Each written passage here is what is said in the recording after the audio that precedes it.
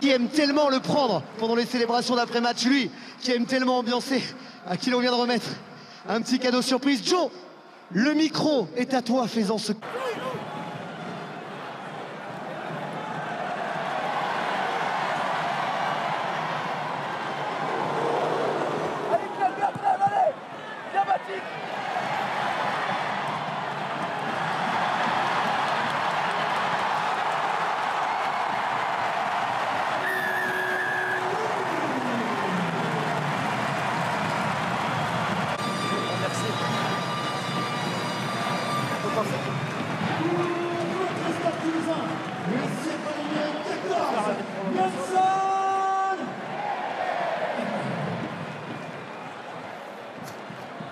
problème.